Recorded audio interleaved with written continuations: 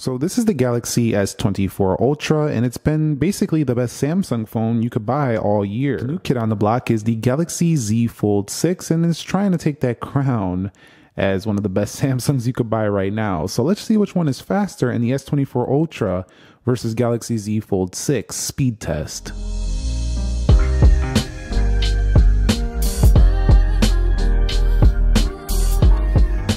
So what is up guys? Nick here helping you to master your technology. Let's begin this test with a boot up in three, two, go and see which one get there first.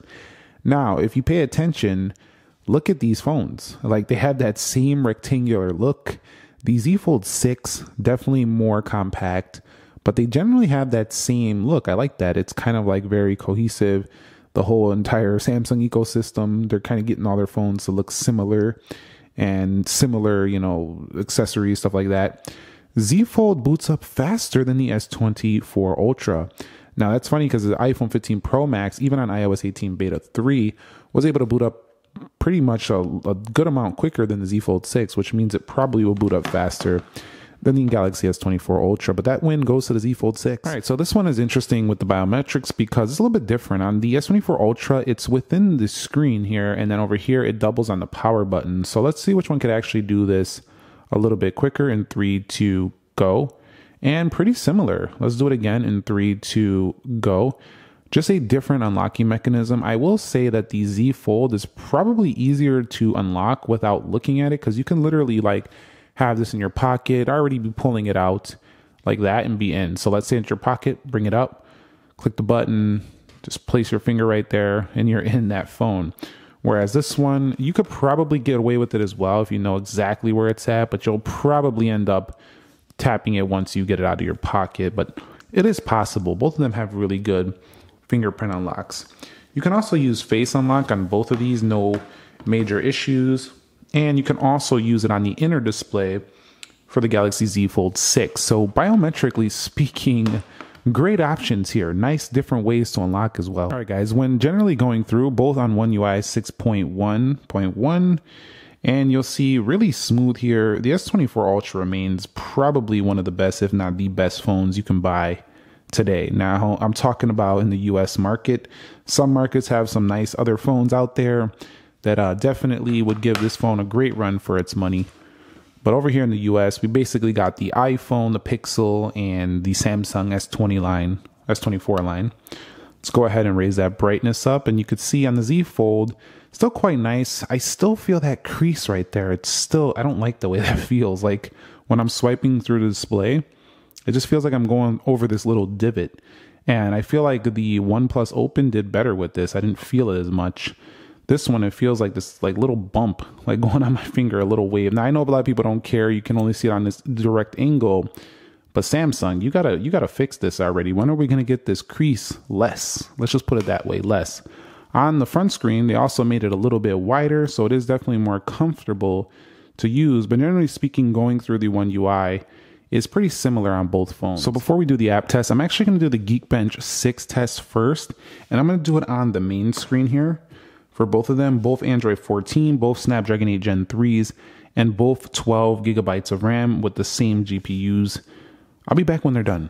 So we're wrapping up here, and the S24 Ultra finishes nearly at the same time. A 2302 on the single core, 7112 on the multi-core, 2231 on the single for the Z Fold 6, and 6890 on the multi-core for the Z Fold 6. So here in this initial Geekbench test, before we opened up all the applications, actually it out here for the Galaxy S24 Ultra. Let's close everything out now. Everything is closed for both phones. And let me go ahead and open up the Z Fold 6 and we'll get into this app test. All right, so here we are with the application test. Everything closed out for both phones. Let's begin with calendar. You could see exactly identical performance. We'll swipe up out of there. We'll go into clock, identical. And I mean, this one right here Unlike some of my other ones, which are pretty close most of the time, this one looks like exactly the same. Let's go into calculator, like literally exactly the same, the same animations. Let's go into weather. Look at that. Look at that space on the Z Fold 6. You got that extra space to see all the other temp. You have to do more scrolling on the S24 Ultra. However, the Z Fold 6 can be impractical sometimes. On the inner display when out and about, you'll have to use a smaller display because it's just too wide sometimes. But when you're chilling on the couch or at night in bed and you just want to consume some content, it's like a little mini tablet. Let's go into Play Store on both. Bang. And the Z Fold 6 loads at about the same time. Let's get up out of there. We're going to Instagram. Now this is going to load the tablet version, and we still loaded it first on the Z Fold 6. Let's click this. Look at that size of the image. However, you'll see even though the image is large, which is nice, we can still see the description here. Then I had to scroll down to see the description there. Let's go into Starbucks and I think that was S24 Ultra. Let me click settings here. I think I have this on natural mode. That's why this one looks so much more vivid. Let me click vivid to make this look a little more equal with the vividness. Do I have extra dim on? No, this looks a little dimmer today. Let's go into Groupon. You'll see that was about the same time. You know what I actually want? I'm going to tell you what I want, or definitely desire into the next fold. And they're already doing this with other brands. Some chinese makes are actually doing this. This size of a screen or near this size of a screen on the front. Let's make the z fold like the s24 ultra. If we, if we could figure out a way to do that while keeping it light we'll have a super super winner because what i miss about the s24 ultra when using the z fold 6 is the display size so when i go to the front it's just smaller let's go into amazon on both and you can see, I didn't see a massive difference, did you? Let's go into Jetpack Joyride. And one of these has the volume on. It is the Z Fold. Let's go over here.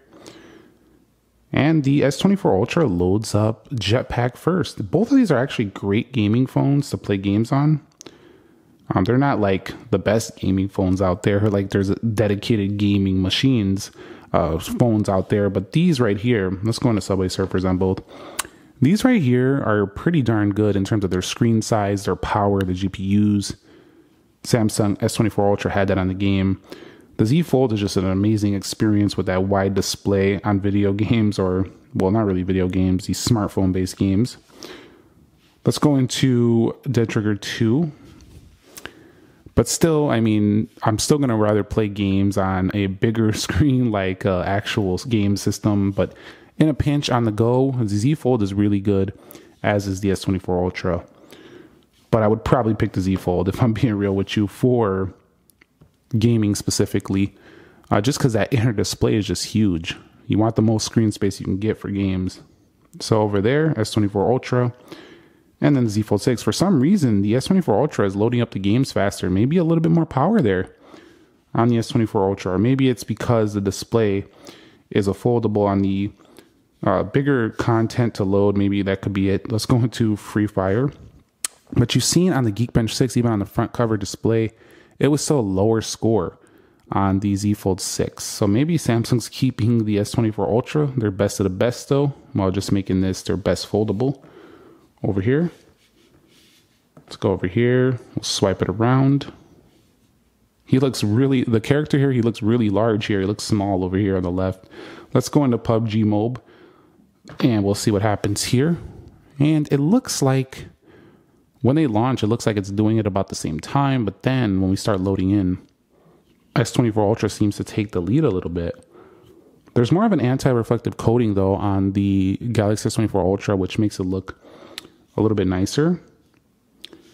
And looks like I have to log back in here. All right, yeah, we're having like a little issue here on these. Let me go ahead and reload this. All right, so let's launch PUBG here. Three, two, go. And see what happens here. I think, I'm not sure if it lets me load it both at the same time. It might time out one because I'm logging in on the other. But the S24 Ultra was faster. We're already here to the the screen where you log in. So yeah, I think it's giving me that issue because I have I'm already on this phone. I'm already on one of these phones over here. But you've seen generally that the S24 Ultra was loading it first. So I'm gonna actually give the win. Said okay. Yeah, see this is telling me your account's already in use. So I can't actually get in on the Z Fold due to this one being on on this one as well. Yeah, so it's timing me out, but When we initially loaded it, the S24 Ultra was loading it first. Let's go into speed test. And you can see pretty much the same. We'll go into InShot. Pretty much the same. Geekbench 6, pretty much the same. And 3D Mark, pretty much the same again. So the games pulled ahead a little bit in the S24 Ultra, but other than that, it was about the same across the board. But that was interesting that the S24 Ultra seems to be a little bit uh, faster when it comes to the games. Let's check the clock speeds. Same clock speed, so I don't know what that's about. I don't know why the S24 Ultra was loading the more intensive games fast. So let's run through the RAM management here and see how they perform. Pretty darn good here for the S24 Ultra. This has been my favorite Samsung phone ever. For performance, it's been ridiculous good. Let's get up out of here. Still has a little bit of um, choppiness though, like with the animations. Sometimes I wouldn't call it slow, anything like that. Just sometimes it doesn't look as smooth as it can. I still think they could do a little bit of smoothing out on the animations. They're doing really good. They've been much better than last year, but there's still some times where it just can look like not as smooth as I would like it to. Let's go into the Galaxy Z Fold 6 over here and we'll hit 3D Mark, InShot, Speed Test. But the nonlinear animations they brought this year was a real big jump to Samsung line. And you'll see Subway Surfers over here. Let's go on the Jetpack Joyride. This one's a little harder to get the finger underneath because they have like this little part right here and the bezel is really thin. So if it looks like I'm missing a little, it's because of that. Let's go into weather, calculator, and you could just tell when tapping the display that the Z Fold 6 is just a much more uh, delicate display. It's like a plastic panel. It doesn't feel as like strong as the S24 Ultra. So you still got to be careful with this one. It's still not no super, super durable, strong phone. It's better than the previous foldables, but it's still a Z Fold. It's not like a super sturdy S24 Ultra. But in terms of the RAM management, both of them did about the same. All right, so let's go to Samsung.com here in the internet. We're going to check the browsing here. And look how much more content is displayed there for the Z Fold 6. And yeah, you have about one day to go ahead and pre order the rest of these things you know, these still are going to be a pretty good deal even after this ends. They're probably going to retain some really good deals throughout the year. Samsung usually does that, but you can see just super smooth browsing on both. However, I feel like on the Z Fold, I'm looking at a full tablet basically. Like the way it displays content is much more like a Samsung Tab S9, something like that, versus this is just pure phone. But this is how it would look if you were on the cover display of the Galaxy Z Fold six. All right, so let's go to another website. How about yahoo.com? Three, two, go. See, even though the Z Fold is loading up more content, it still did it a little faster. I wouldn't say more content, just in a more tech or more in a tablet version. But see, scrolling is good on the Samsung internet. Pinch to zooming is good, so no major issues. Both of them are going to browse fantastically. So 3D Mark is done, and we got an average frame rate of 25.89 for the Samsung S24 Ultra, 20.08 on the Z Fold 6, with a about a thousand less on the score. Very strange. Some people said they're getting better scores than me in this test. Samsung S24 Ultra doing better on 89% and 74% on the right. Now, what I want to do is I'm going to run this test one more time. It was requested for me to run this on the cover display. Uh, they said running it on the inside. Someone was saying that it gives them a different score. I'm going to try that here and see if the scores are any different. So I'll be back with another 3D Mark rerun. All right, so I ran it here on the cover display, reran the test, and it's even lower this time for the Z Fold 6, 18.89 average frame and scoring better than 70% of devices. The S24 Ultra is still around that same 4256, 25.49, pretty much the same. So the only thing I can think of is maybe the Z Fold throttling, or maybe it's getting too warm. I don't know exactly what's happening here, but both times here, it got a worse score than the S24 Ultra, even with the same chip and same RAM. All right, guys, so let's go ahead and take a look at the cameras here on both phones. Three, two, go see the S24 Ultra, did it launch that first? Let me go ahead and try that again. Three, two, go.